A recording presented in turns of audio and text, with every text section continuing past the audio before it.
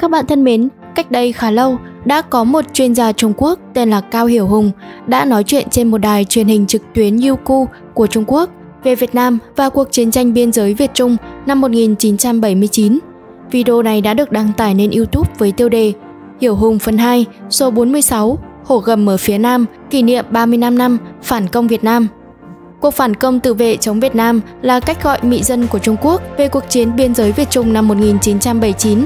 Cao Hiểu Hùng được biết là một nhạc sĩ kiêm đạo diễn nổi tiếng của Trung Quốc. Anh ấy đã có những chương trình nói chuyện về các chủ đề lịch sử và chính trị, nhưng vì quan điểm quá thẳng thắn, nói ra sự thật nên dưới bàn tay sắt của chính quyền Trung Quốc, anh ấy hiện nay đã không còn được xuất hiện tại Trung Quốc nữa. Trong chương trình này, Cao Hiểu Hùng có nói một đoạn như sau, S xin trích nguyên văn. Dân tộc Việt Nam có một đặc điểm, chính là kỳ thật họ không phải là một dân tộc thượng võ. Mọi người nếu sang Việt Nam xem, tôi đã sang Việt Nam, họ không phải là một dân tộc thượng võ, người dân không phải ngày nào cũng đánh nhau đánh nhau, họ không giống như Nga, cũng không giống như Triều Tiên. Người Việt Nam có tín ngưỡng Phật giáo, vô cùng hiền hòa. Tuy rằng Việt Nam không phải là một dân tộc thượng võ, nhưng lại là một dân tộc vô cùng thiện chiến. Bao nhiêu năm như vậy mà không ai có thể chinh phục nổi. Mông Cổ đã từng chinh phục nửa địa cầu, nhà Nguyên ba lần đánh Việt Nam vẫn chưa chinh phục được Việt Nam. Nhà Minh, thời thành tổ, tuy đánh Việt Nam nhưng chỉ ở đó thống trị được 20 năm. Họ tiến hành chiến đấu ngoan cường, 20 năm sau lại lấy lại độc lập, nhà Thanh thời Càn Long viễn chinh đến Việt Nam, đại bại mà về.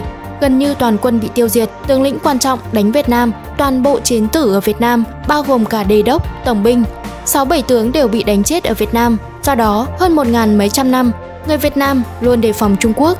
Sau đó thì Cao Hiểu Hùng có chia sẻ quan điểm về cuộc chiến Việt Trung năm 1979. Tất nhiên trong khuôn khổ kiểm soát của chính phủ Trung Quốc, thì quan điểm cá nhân cũng không đi qua giới hạn cho phép của chính phủ Trung Quốc về vấn đề này. Video này rất dài, nên bạn nào muốn tìm hiểu thêm có thể xem link video gốc S để ở phần mô tả nha. Vậy sau khi nghe Cao Hiểu Hùng nói như vậy, thì netizen Trung Quốc và một vài người Đài Loan đã có những cảm nghĩ như thế nào? Chúng ta cùng nhau tìm hiểu ngay bây giờ nhé. Tôi đã nghe nói về cuộc chiến này từ khi còn là một đứa trẻ, vì vậy khi tôi học ở Úc khi trưởng thành, tôi vẫn có cảm giác sợ hãi khi nhìn thấy các bạn cùng lớp người Việt Nam. Đừng lo lắng, bạn không chủ động gây chiến, quan hệ giữa Trung Quốc và Việt Nam hiện tại không quá tệ, hãy chủ động kết bạn với anh ấy. Có một người bạn cũ ở quê tôi trở về từ chiến tranh Việt Nam, năm nay ông ấy đã gần 70 tuổi. Tôi nghe ông ấy nói rằng người Việt Nam thời đó rất khó đánh, cuộc chiến rất khốc liệt, khi trời mưa, nước trên núi đổ xuống đều màu đỏ. Trong cuộc chiến lần đầu tiên, quân Trung Quốc chịu nhiều thương vong vì quân đội và pháo binh bối rối khi nghe thấy tiếng pháo. Sau vài ngày thích ứng, ông ấy đã ổn. Khi đó ông ấy chỉ mang theo 5-6 người từ một lớp cấp tốc trở về. Sau một tháng nghỉ ngơi ở hậu cần, ông ấy rơi xuống tiền tuyến với tư cách là một trung đội trưởng đặc vụ điều tra. Dọn dẹp pháo đài của quân đội Việt Nam, ông ấy kể rằng một lần, năm người Việt Nam tấn công một tiểu đoàn Trung Quốc và cuối cùng họ đã quét sạch quân đội Việt Nam và nhìn thấy cánh tay của một phụ nữ bị thương, vài người lính đã nhặt nó lên bằng lưỡi lê. Một, Sau khi đánh Việt Nam cực nhọc để đầu lấy hơn 10 năm hưởng tuần trăng mật giữa Trung Quốc và Hoa Kỳ. 2. Tăng cường sự lãnh đạo của đảng trong quân đội. 3. Liên Xô bị sốc. Giỏi võ và đánh nhau giỏi là hai chuyện hoàn toàn khác nhau. Hãy nhìn Nga, một ví dụ điển hình của việc giỏi võ nhưng không giỏi đánh nhau. Ngày 1 tháng 2 năm 2022, đội tuyển bóng đá nam Trung Quốc thua Việt Nam. Tôi nghĩ có liên quan gì đó đến trận phản công Việt Nam 40 năm trước. Chúng ta hãy thưởng thức thật kỹ. Radar ngắm pháo mà bạn đề cập thực chất là radar định vị pháo, có thể tính toán điểm bắn dựa trên quỹ đạo đạn pháo của đối phương. Đây là sản phẩm của Thụy Điển đầu những năm 1970. Trung Quốc được hai bộ thông qua một nước thứ ba. Trong chiến tranh Việt Nam, Việt Nam đã cử các điệp viên thâm nhập vào các trạm radar cho nổ tung một trong số chúng. Thông tin liên quan có thể được tìm thấy trong cột quân sự của thành phố Văn Học. Tên là phản công tự vệ nhưng thật chất là hành động xâm lược. Có hai nguyên nhân chính. Thứ nhất, Việt Nam được quân đánh tập đoàn Khmer Đỏ Pol Pot. Tấn công Việt Nam mới cứu được Pol Pot. Thứ hai, gửi kiến nghị đến Hoa Kỳ đoàn kết với Hoa Kỳ để chống lại Liên Xô, cải cách và mở cửa là một đám quan lớn lãnh chúa hưởng vinh hoa phú quý bi kịch mất người thân chỉ đổ lên đầu lão bách tính những người thực sự hiểu lịch sử và nhìn thẳng vào lịch sử sẽ không dùng cái tên tự vệ phản công chống Việt Nam mà phải nói đó là một cuộc chiến chống lại Việt Nam. Để công bằng, hãy lật ngược nó lại, tại sao không ai nhìn cuộc chiến này từ góc độ của Việt Nam? Chẳng phải người Việt Nam đã chịu nhục hàng nghìn năm sao? Khi đó Trung Quốc đã xa rời các giá trị cốt lõi của chủ nghĩa xã hội, ngấm ngầm liên minh với Hoa Kỳ và núp bóng đế quốc Mỹ. Việt Nam đã làm đúng, thậm chí nhiều trường hợp Việt Nam nhân từ, không gây rối ở quảng trường quốc tế.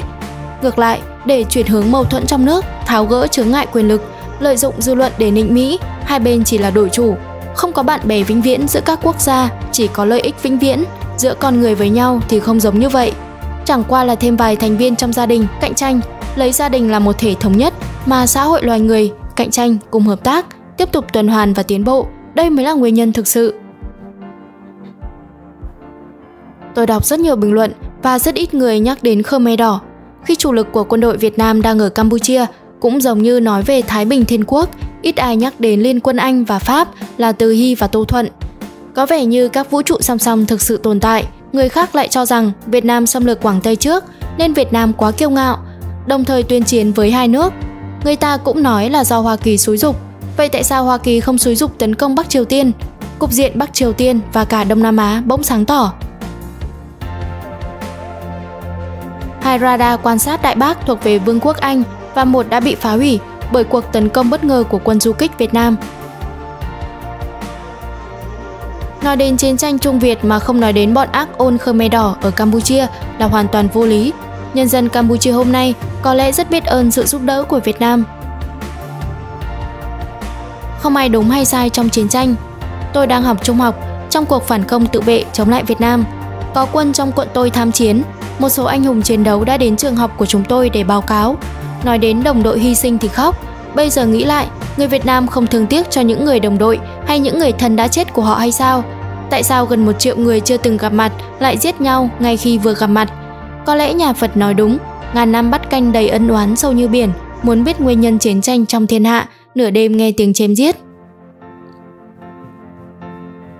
Lúc đó ta chưa đánh với bộ đội tinh nhuệ của Việt Nam đã rút khỏi Campuchia. Chiến lược tuy thành công, nhưng tôi cảm thấy quân đội mình tụt hậu về mọi mặt tác chiến. Ngẫm lại mới thấy hết. Người dẫn chương trình đã phạm hai sai lầm trong chương trình này. Sai lầm thứ nhất, người dẫn chương trình Cao Hiểu Hùng nói rằng Việt Nam rất giỏi chiến đấu và ngoan cường, ngay cả Hoa Kỳ cũng không thể đánh bại được. Sự hiểu biết của người dẫn chương trình là sai. Sức mạnh quân sự của Mỹ có thể dễ dàng đánh bại cùng lúc nhiều nước như Việt Nam. Nếu Mỹ bỏ xiềng xích chính sách và tiến hành một cuộc chiến tranh tổng lực với Việt Nam, không vũ khí hạt nhân, chỉ chiến tranh thông thường, Mỹ sẽ không cần tốn nhiều công sức để đánh bại Việt Nam. Vào những năm 1970, Hoa Kỳ có đủ sức mạnh quốc gia để tiến hành cùng lúc hai cuộc chiến tranh rưỡi, tức là cùng lúc tiến hành hai cuộc chiến tranh toàn diện và giải quyết xung đột cục bộ, tức là một nửa cuộc chiến tranh, được gọi là lý thuyết hai cuộc chiến rưỡi.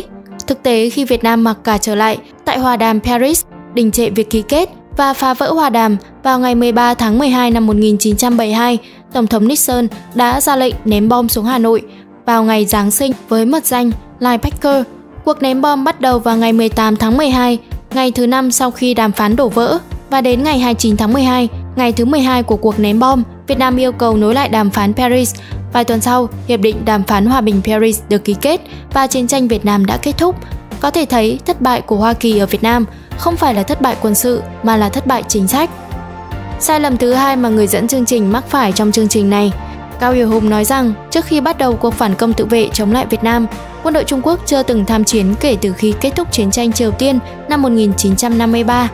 Như chúng ta đã biết, vào năm 1962, để chống lại những hành động khiêu khích điên cuồng của Ấn Độ đối với Trung Quốc và sự xâm phạm lãnh thổ của Trung Quốc, quân đội Trung Quốc đã tiến hành một cuộc phản công chống lại quân đội Ấn Độ kéo dài một tháng một ngày, từ ngày 20 tháng 10 đến ngày 21 tháng 11. Quân đội Trung Quốc đã đánh bại quân đội Ấn Độ tìm kiếm khắp nơi và bảo vệ thành công phẩm giá và toàn vẹn lãnh thổ của Trung Quốc. Cuộc phản công tự vệ biên giới Trung Ấn này đã trở thành nỗi nhục quốc thể và nỗi đau không bao giờ nguôi ngoai của Ấn Độ. Trong lòng người Ấn Độ đã hình thành khái niệm người Trung Quốc cao hơn người Ấn Độ. Có thể thấy, quân đội không huấn luyện trong thời bình khi không chiến đấu thì thật là thiếu sót.